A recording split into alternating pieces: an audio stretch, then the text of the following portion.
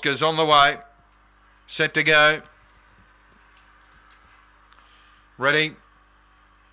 Racing. Forest Max last out, winning it wide out, Crime Orbit, going a hard galloping gem and Solar Rapid right around the outside.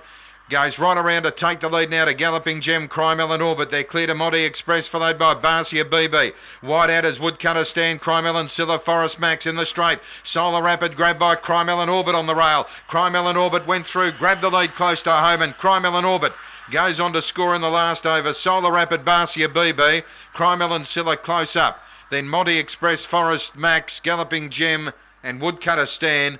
Runner here, 23.74.